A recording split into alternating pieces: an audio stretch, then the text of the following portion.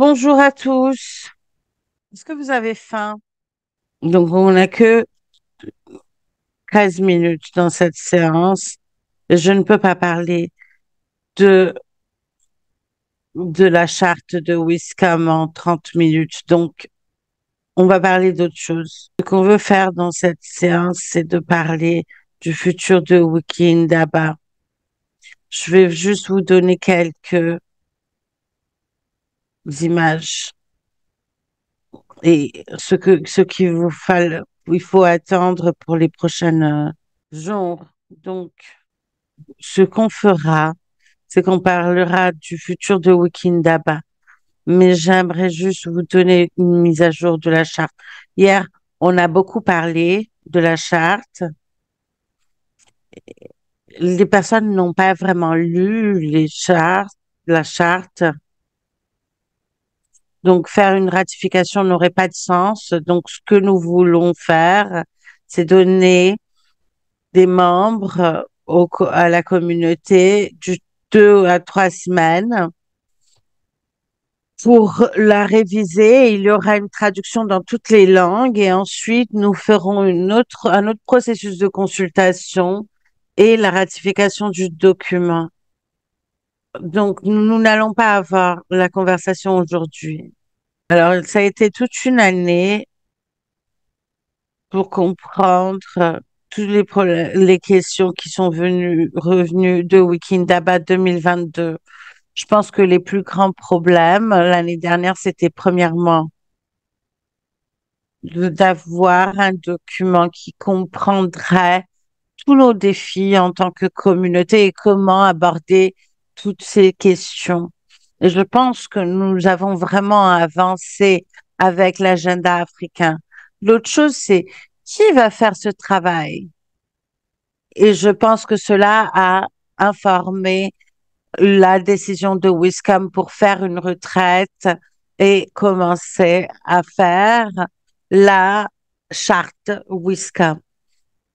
Donc, nous devons célébrer là où nous sommes arrivés et les pas que nous avons pris. Donc, j'aimerais déjà qu'on s'applaudisse pour le travail que l'on a fait.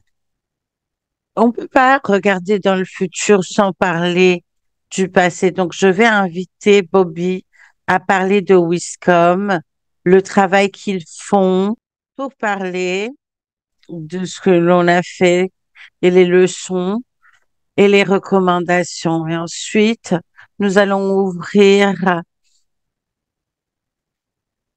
la parole pour euh, vous entendre et savoir quels sont vos besoins et qu'est-ce qu'on peut faire pour vous. Donc, merci Félix. J'ai dit à Félix que j'ai un mal de tête qui me hante. Vous êtes africain, vous comprenez. Donc, qu'est-ce qui est Wiscom? Wiscom, c'est un, acronyme pour le comité responsable de Wikindaba. Et il a été formé en 2018 après une décision en Tunisie du besoin d'un comité composé d'organisateurs précédents de la conférence pour s'assurer que la conférence se passe tous les ans. Donc, euh, Wiscom est formé par les, organisateurs précédents et deux liaisons de la fondation qui sont euh, Véronica et Debessani. Ils sont aussi trois bénévoles de la communauté. Aujourd'hui, nous n'avons que les organisateurs précédents et les liaisons de la fondation. Nous n'avons pas encore les bénévoles. Pourquoi? Parce que nous décidons encore de comment les intégrer.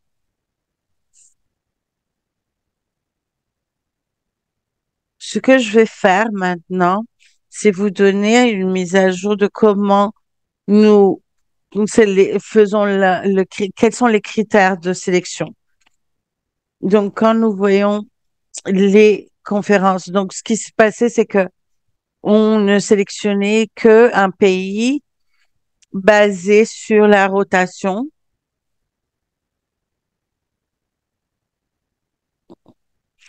on, choisissait toujours une région différente, mais nous avons décidé de changer le processus et annoncer deux pays au lieu de un. Aujourd'hui, la conférence est au nord et l'année prochaine, ce sera dans le sud. Et les proches, donc les prochaines, euh, les prochaines années seront est et ouest.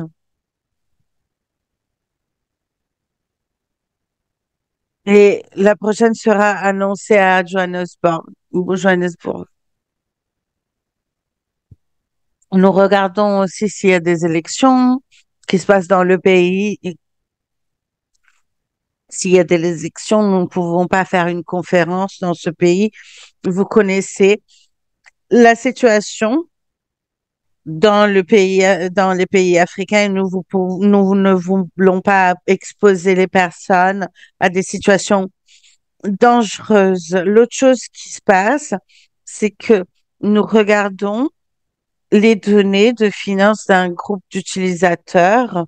Peut-être que j'aurais dû commencer par expliquer que pour que vous puissiez soit être euh, sélectionné, il faut être une, organi- une organisation affiliée dans le continent africain. Et après ça, nous pouvons euh, prendre contact avec vous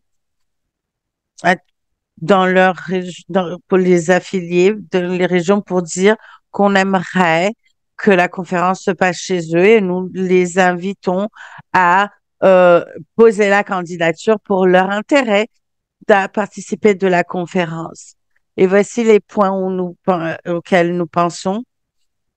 Les élections.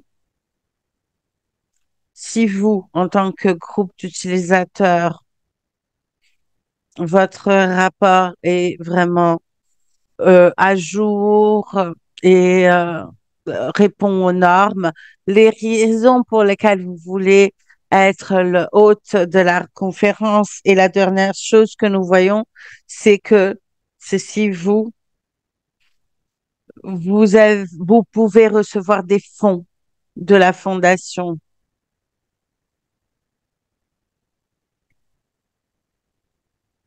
Une fois qu'on a fini notre processus et l'équipe euh, de Trust and Safety, de sûreté et confiance, euh, nous dit si vous pouvez recevoir des fonds de la fondation. C'est ce que l'on fait et maintenant, en 2022, ce qui s'est passé, c'est que la demande de Ouiskam a été étendue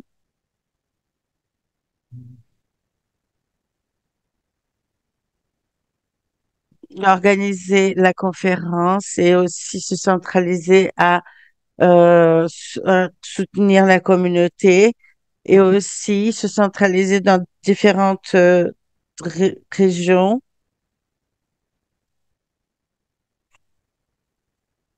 et aussi pour soutenir la communauté. Maintenant, pour le document qui va nous dire que, qui va nous dire comment euh, adresser cette situation, c'est la charte Wiscom. Je vais arrêter ici pour l'instant.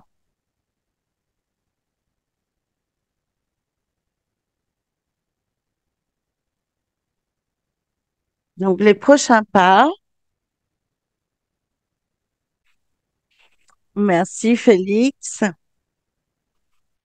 Ce que l'on veut faire en tant que Wiscom pour les prochains pas, plus que on, la plus, plus on les fait, les conférences, plus on apprend. Et nous avons vu que ce sera mieux de, d'avoir des normes quel- pour quelques processus.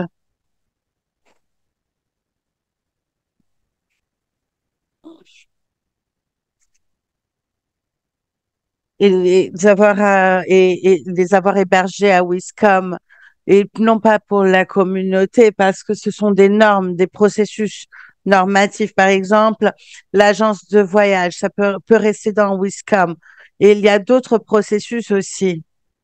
Et la question des bourses aussi. En 2020, 2022, nous avons eu 40 bourses. Et il y a eu beaucoup de euh, choses, beaucoup de cris de la communauté, beaucoup de, de, de mécontentement de la communauté, parce que, mais on sortait de, COVID, du Covid, on ne pouvait pas savoir ce qui allait se passer. Et cette année, c'est le double de bourses. Et nous avons aussi des micro-grants, des micro-subventions.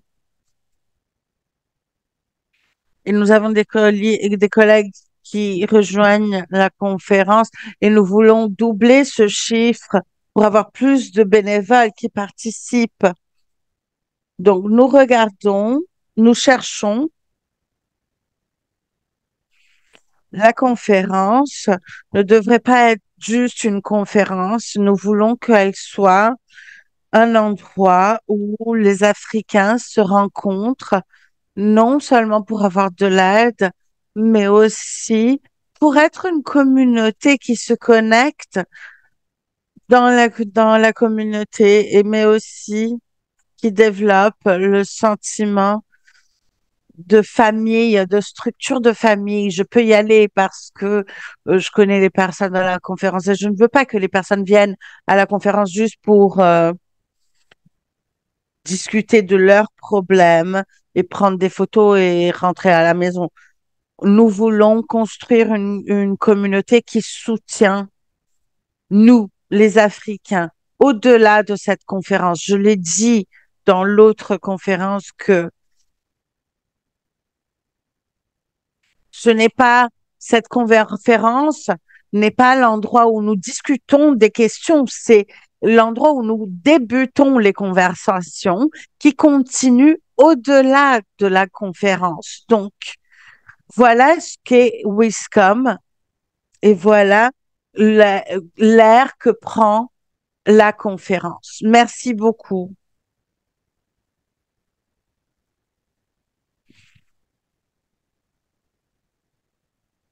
Donc, Wikimedia Maroc pour vos apprentissages et recommandations.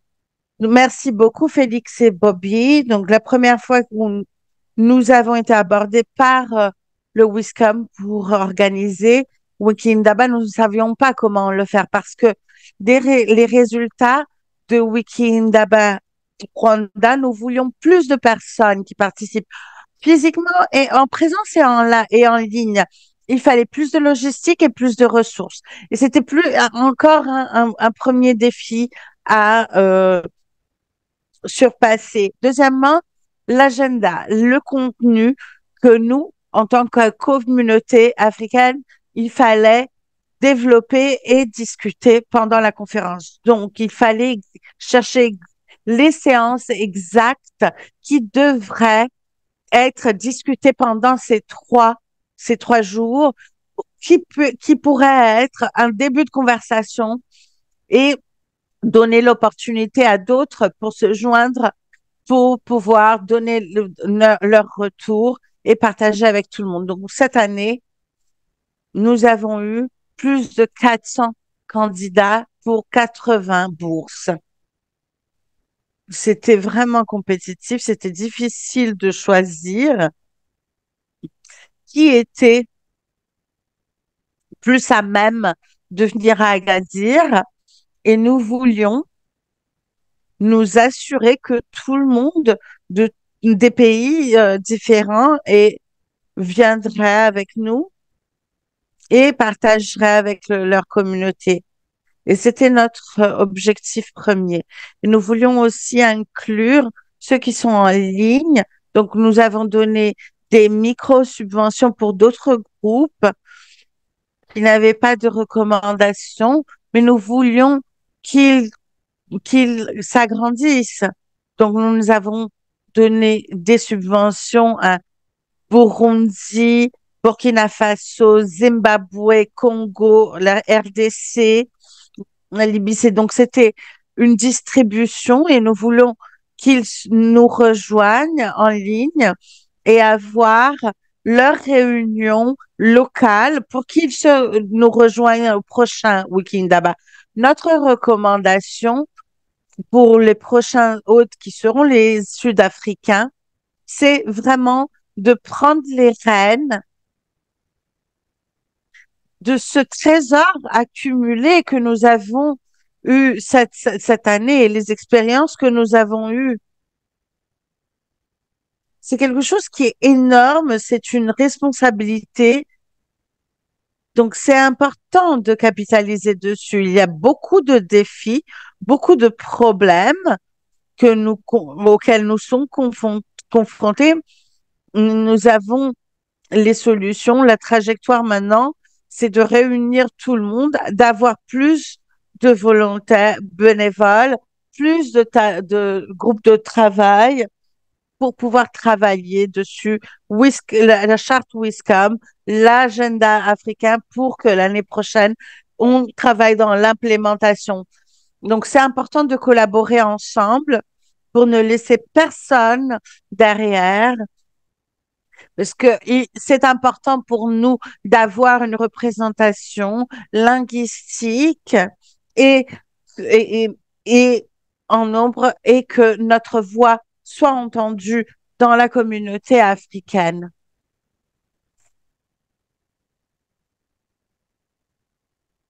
Je pense que nous avons entendu de Wiscom ce leurs espoirs pour 2024. Et nous avons entendu de Wikimedia Maroc et les recommandations qu'ils attendent des prochains hôtes, mais nous ne pouvons pas euh, fermer cette séance sans demander à vous les de votre expérience et les choses que vous attendez de la version 2024. Weekend d'abord fête ses 10 ans en 2024 et je pense que cela mérite un, un applaudissement. En Afrique du Sud 2024, ce sera la huitième édition de Wikindaba. Et nous aurons, et ce, sera depuis dix ans. Et nous allons faire là où ça a commencé, en Afrique du Sud. Il y a beaucoup sur leurs épaules, leurs épaules, mais ce serait très important d'entendre vos points de vue par rapport à ce qui est nécessaire et ce que vous voulez voir